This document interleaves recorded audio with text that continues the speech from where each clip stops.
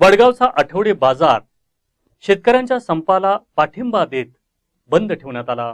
काँग्रेस पक्षाच्या आव्हानाला प्रतिसाद देत शेतकऱ्यांच्या संपाला पाठिंबा देण्यासाठी वडगाव येथील आठवडे बाजार भाजी विक्रेत्यांनी कडकडीत बंद ठेवला. काँग्रेसचे तालुकाध्यक्ष बाळासाहेब ढोरे व कार्यकर्त्यांनी बंद पाळण्यासाठी आवाहन केले होते.